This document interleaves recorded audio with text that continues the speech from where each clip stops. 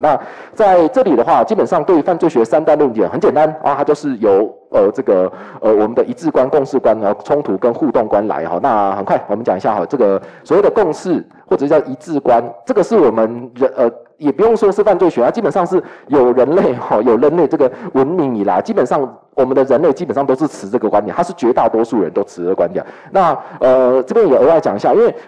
这个题目的话，当然之后可能会下放到四等啊。如果放下放到四等的话，我们还是一起来这个呃研究一下。因为这一题哈，其实应该说哈，这这个观念其实是很简单的。那正因为它很简单，所以的话，你一定要加入一些题目所没有的东西哦。这是写申论题的一个小诀窍。你可以想象哦，如果全台湾，如果譬如说，如果这个题目全台湾一半以上的考生都会写。写得好或者写的稍微糟糕，可是大大部分大家都会写。那这个时候你就要想一件事：既然全国考生超过一半会选，那凭什么我我要上榜？我凭什么老师让我上榜，不是让别人上榜？那就那就那一定就是取决于两个原因嘛。第一个原因就是你写的够深，好，譬如说你是类似像譬如说那个课本抄出来的，哦，感觉就像哇天哪！譬如说如果我是这个。学生好，譬如说，哎，用读北大好，譬如说徐徐老师，如果你真的有有本事，把徐志英老师的课本的文字全部原封不动抄到那个考卷上。我只能给你二十四分哈，因为二十五分是不可能给的哈，因为满分我们是不会给的。我只能跪着改哈，我叫哦，这个徐老师这一定是对的，赞赞赞。可是呃，我们目标不是这样，为什么？因为你还有其他科要准备啊，所以的话，你要你要求的是什么？你要求的是广度，也就是其他的东西你可以塞进来，告诉老师什么事？告诉老师我知道犯罪学这个理论之外，我还知道它更多的小秘密哦。你想要知道吗？好，按赞、订阅、加分享哈，我们可以看更多等等那之类。那老师觉得哦，哎，你讲了很多。我们题目没有问的，哇，赞赞赞！好，那所以的话，我们看一下，你有哪一些是可以讲的？比如说共识观的话，它是取自于社会学的什么？它是取取自于社会学的功能理论。所谓的功能理论很简单的，功能理论的话，它的一个代表者哦是这个我们那个呃社会学的三大支柱之一的韦伯。那基本上功能论很简单，所谓的功能论就是社会上的各个成员，哦，每个人成员都有功能。你说啊，老师什么意思啊？哦，这个原因，这个说盘讲，也就是每一个人都很重要。你应该听过类似的话，就是我们每一个人都是这个社会的小螺丝钉，哈，这个我们都维持这个机器运转，少一个人都不可以。好，那从这个观点，你反推回去，你就会知道，所谓的共识观是什么？我们犯罪的定义，或者是我们犯罪的一个衍生，都需要大家共同参与。那所以的话，什么是犯罪？犯罪就是大家都讨厌的，哈。所以这个共识观的决定者是谁？好，犯罪的决定，好，或者是说法律的那个概念，好，谁决定这个事情是犯罪？很简单，是社会大众，社会大众全体，大家一起决定哦。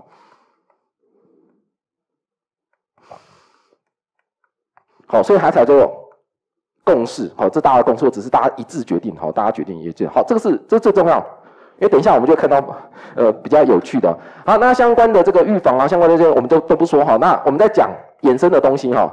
好啊，这个也是可以加进去啊，就是衍生的理论。衍生的理论基本上大部分的哈，这边都直接写了，大部分的犯罪学理论都是采这个看法。好，那接下来的话，我们就要知道其他理论了。像我们要讲一个互动观，好，跟这个冲突观，好，先讲互动观哦，以这个呃这个呃这个这个这个。它衍生的这个时代来讲，哈，互动观很简单。互动观的话，它是源自于啊社会学的，哦，这也是这个衍生的，哈，社会学的互动论。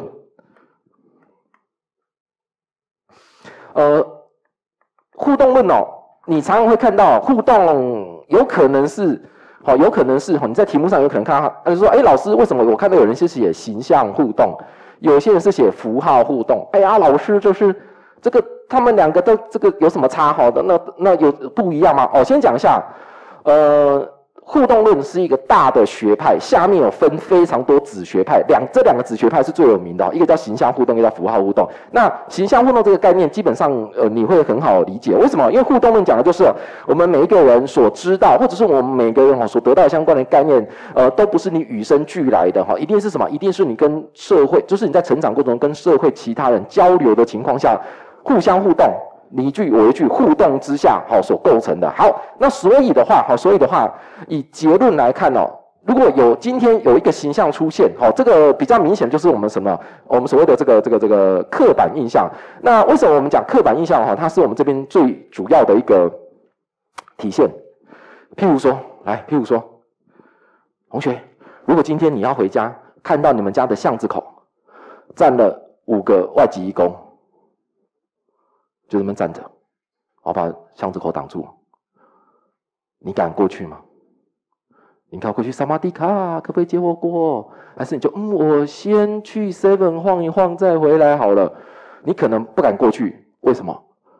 因为外籍工看起来有点可怕，他们可能不只是身上味道可怕哦，感觉很可怕。可是问题是，请问你被外籍工欺负过吗？外籍工在你还是他们在聊天的时候，手上拿一把刀，虎视眈眈的，也都没有，人家只是站在那里而已啊。那凭什么你觉得很他们很可怕？原因就是刻板印象啊！这刻板印象是谁告诉你的？新闻媒体告诉你的，你的父母告诉你的，你的其他的社会大众告诉你的。好，所以这所谓的形象运动就是出现这个形象，我们马上就会得到一个结论。这个结论不是我们自己亲身获得的，都是什么？别人告诉我们的。好，另一个符号互动，符号互动它是更抽象啊，也就是出现了某一种的符号，你自己就会衍生出哈不自然的呃不不自觉的延伸出的感觉。譬如说呃，譬如说。你在路上看到国旗，你可能觉得还好。可是，譬如说你在呃，哎，奥运嘛，现在没办法。譬如说奥运的会旗啦，譬如说奥运会旗，哇，你看这个奥运会旗冉冉升起。好，这个符号，好，就是这个国旗的符号，一看到哦，你眼睛都飙出来这样。那为什么？因为你看到这个国旗，或者是你看到那个奥运会的会旗，哦，你马上这个这个这个台湾的意识，或者是这个呃这个国主认同啊，马上就浮现起来，等等的这啊，你怎么会浮现这东西？就像你给一个一岁小孩子给他看国旗，他是不可能有感觉的。他就觉得很奇怪，哦，给我看这个干嘛？哦，那一定是经过社会的互动啊。你知道国旗代表意义，或者是奥运会旗所代表意义哦。好，那这里的特点在哪里？这里的特点就在于啊，这是第一个，也是最重要啊。我们等一下选择题就会用到一个不一样的点，就是我们的决定者不是全体哦，是谁？是有权势的人，好，是有权势者，好，是这个社会上有权势者，也就是少部分的人，好，少部分的人，好，少部分的人。呃，少部分的人来，那在这里的话，为什么这么重要？原因很简单，原因是因为这个呃，这个定义就刚好的划分出共识观跟我们互动啊，还有我们冲突观的不同之处。好，那我们先顺着先想一下冲突观呢，我们再一起把它给讲完了。好，那冲突观呢？冲突观它的看法很简单哦，冲突观它的看法认为说。呃，我先讲啊，它是源自于社会学的冲突学派，哦，社会学的冲突学派。那你要再讲更细，它其实就是马克思主义，哦，马克思主义哦。好，好，这个我们就赶快跳过去哦。那也是一样，它的提出者也是有权势的人，哦，有权势人说啊，老师啊，它不是一样吗？这两个差在哪里？这两个是差在哪里？两个是差在他们的目的不一样，也就是这个可能共识观或者社会大众这个全体哦，它的。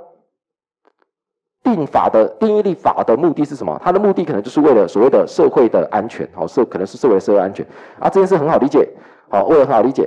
可是有权势的呃的这这两种人哦，他目的都不一样。第一个他的目的 keyword 就是利益，好一定是为了利益，好一定为利益，就好哎，抱歉，利益是中途观哈。来啊这边的话是为了什么？为了他的道德观，或者是他的价值观。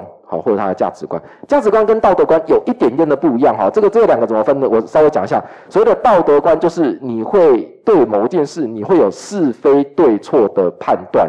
那所谓的价值观，它跟是非对错，呃，当然也有一定的关系，可是更多的都是只是他的一个个人的取向而已。好，个人的，譬如说，呃，有些人。哦，这个之所以不丢垃圾，就是他觉得啊丢垃圾不好，这件事情是错误的，这个叫做道德观，好，大家道德观，我觉得这件事不好。那所谓的价值观呢？如果你更往细讲啊，当然它某程度还是要讲，它跟价值观哦，哦，道，抱歉，它跟道德观呢有一点点重合，可是价值观更多会曲线在说，哎，他的一个个人的一个决定。所以譬如说，每个人价值观，所以譬如说像为什么你选择考警察，你不去考高普考？哦，可可能你在你个人的心目中，你觉得哎，警察这件事是很有价值的哈，你可以为社会呃除暴安良啊，然后你可以这个为这个社会这个这个做一些贡献等等的之类，好，这当然就是你的价值观。这两个有一点点的不一样哈，但是你考写那个考试上环境不用把它分得太细哈，你把它放在一起就可以了。虽然目的是为了解解决这件事情。好，那在这里的话哈，有什么展现哈？譬如说，它这里的曲线就很简单了，这个曲线很多都是所谓的道德犯罪哦，我们之后会讲到。这个最明显的就是所谓的道德犯罪。那我们在犯罪学里面有哪一个哦？因为哎，这个我们稍微串起来一下哦。同学，你在学刑法的时候，去学刑法分则，你一定会学到一件事：你们刑法老师一定会告诉你，每一个刑法分则的法条背后一定有它保护的法益，对不？那所以的话，所有的犯罪一定是他侵害了某一种的法益，国家才要动手，好去呃对他进行相关的一个制裁。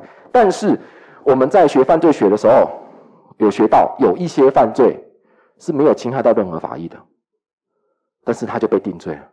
哦，这不是冤狱哈，这是什么？无被害者的犯罪哈，无被害者犯罪。来这边先讲无被害者犯罪。那无被害者犯罪，它的范畴，每一个人的范，就是每一个学者的范畴，或多或少都不太一样哈，不都不太一样哈，或多或少都不太一样。可是有三个犯罪是大家都没有争议的，大家都不有争议，什么黄赌毒啊，就是性交易，好，性交易、赌博跟。毒品，这三个是大家没有争议的，其他还有争议，譬如说什么堕胎啊，哦，这有没有争议？哦，这这个堕胎是有争议的，哦，堕胎是有争议的啊，这这样至少这三个，三个这三个是没有争议的，大家都认可这是被害的犯罪，因为这三件事其实没有伤害到任何的法益。譬如说以性交易来讲，一个出钱，一个出身体，请问他伤害了谁？有啊，老师，他伤害了他的大老婆的感情啊。如果同学啊，这个我们伤害一个人的感情就要是犯罪的话。那么玩弄人家感情的渣男是不是应该当犯罪？同学懂我意思吗？就是如果你要这来推，我那个范围会很可怕。所以的话，这三个其实认真讲，他们其实侵害的是什么？呃，他们侵害的其实就是大家的道德感而已。认真讲，其实就是道德感。那当然不是说这把这些除罪的话，就是台湾是一个没有道德感的国家，这是两回事哦，这两回事哦。这个我们讲无败者，反正会会会会讲哈，会讲。好，那所以这个就是这样啦。那有权势者，那在冲突关会。目的是什么？他的目的很简单了，他的目的不是为了这种抽象的东西，他目的是什么？为了他的利益哈，实质的利益可以放到口袋里的好处哈。所以这种利益的话，再细分两个，一个是政治上的利益哈，一个是经济上的利益哈。经济上的利益，经济上的利益当然不用讲，就是我打压一级啊，好看可以得到什么好处。那另一个政治上的话，最常见就是什么？譬如说白色恐怖哈，白色恐怖时期，很多人因为内乱外患被弄死嘛，哦大家应该知道，就我们台湾有白色恐怖这个那。目的是为什么？目的很简单，我要巩固我的政权哦。好，同意懂我意思哦？同意懂我意思哦？OK，好，那所以的话，这两个是最大的差别哈。